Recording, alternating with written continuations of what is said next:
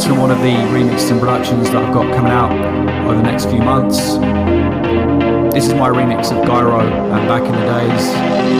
It's forthcoming on Sailor Music. My latest release is my remix of the massive Jones and Stephenson track, The First Rebirth, on Bonzai Records. That's available now on Beatport and all other digital outlets from Monday.